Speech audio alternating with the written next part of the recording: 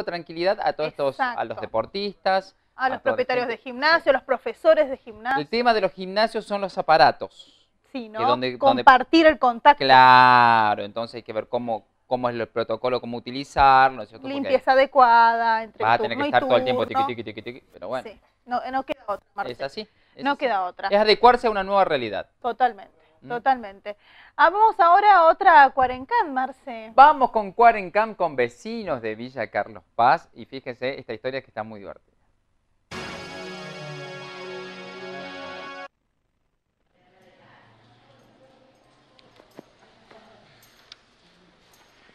Edgar, Alfredo, Pini, Domenela, un apellido, un apellido muy conocido acá en la cooperativa.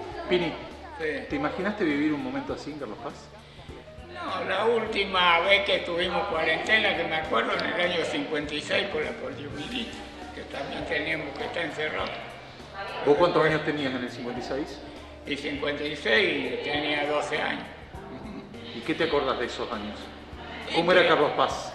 Y bueno, ni se notaba si salía gente o no, éramos, éramos muy pocos en esa época. Habíamos 4.000 habitantes.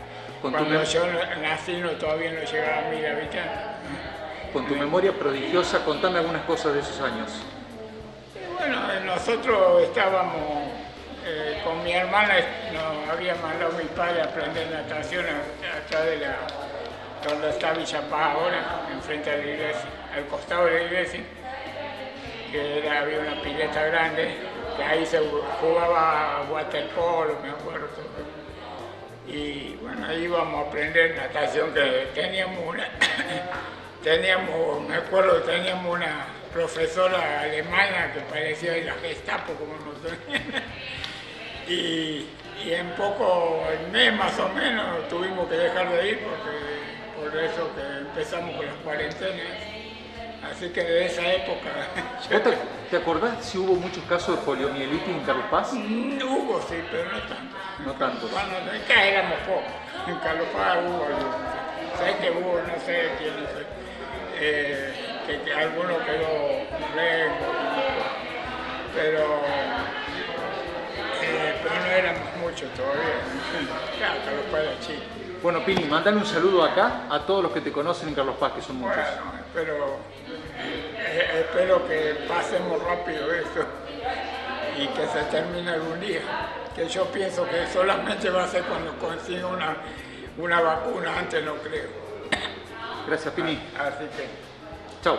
Chao, gracias. Chao, Luis. Entonces dos tuvo, el poliomielitis y esta. Y esta. Yo pues es que pensaba eso, quién sabe, esperemos que no vaya ninguna otra en toda nuestra vida, ¿no? Porque en lo que nos queda de vida. En lo que nos queda de vida. Pero qué, qué, qué, loco, ¿no? qué loco, ¿no, Marcelo? ¿Cómo marca la, sí, la, sí, la, poliomielitis fue grosa, fue importante. Ahí está casos gravísimos, aparte tenía con, eh, secuelas terribles. No, no, y me imagino también, obviamente, si fue hace tantos años, la tecnología no estaba avanzada, no tenemos lo que hoy podemos tener. Tal cual. ¿no? Eh, así que bueno, todo nuevo. Vamos, vamos a la pausa, pero antes tenemos, estamos en el día de Escarapela hoy, claro, por ahí ¿eh? 18 de mayo, tu escarapelita Acá que es una tenemos palomita. una paloma. Me encanta. Es la, escarapela. La típica, la típica, escarapelita. La, clásica. ¿eh? la típica escarapelita. Día de la escarapela eh, y tenemos un videito para irnos al corte. A ver.